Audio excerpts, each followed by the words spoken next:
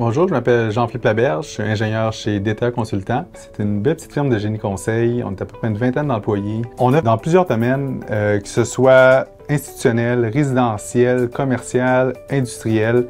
Puis euh, on fait tout ce qui se fait en structure, ponts temporaires, des ponts, des bâtiments, des ouvrages d'art, beaucoup de services en entrepreneur dans n'importe quel matériau. Bois, acier, béton, maçonnerie, très versatile.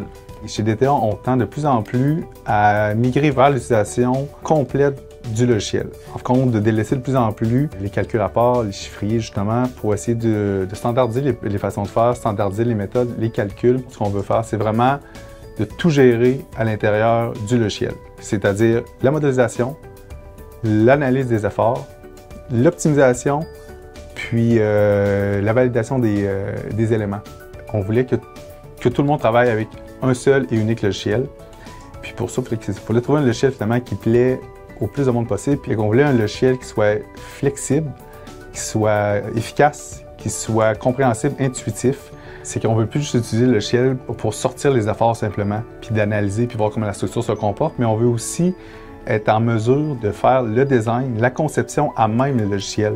En plus de, de modéliser, de sortir nos efforts, d'appliquer les charges, de voir comment le bâtiment se comporte, on était aussi en mesure, avec le, module de design du béton, des dalles, de faire le ferraillage de la dalle, des radis, du balcon, directement à même le logiciel.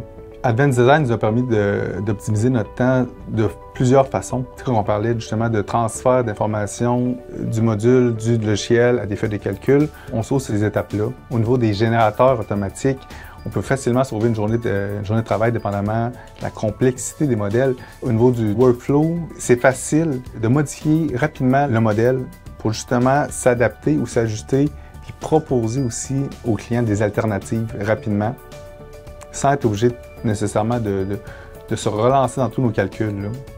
AD nous permet cette flexibilité-là. Au niveau des avantages de Advanced Design, que ce soit au niveau du générateur de charge, la facilité d'apprentissage, euh, en deux, trois jours, avec les tutoriels que Gretec propose, euh, les vidéos, le service à clientèle, le service technique, on est facilement capable d'être fonctionnel, de modéliser en deux, trois jours. De plus en plus, aussi, les professionnels sont amenés à collaborer ensemble au niveau de l'architecte, au niveau de la mécanique, au niveau de la structure.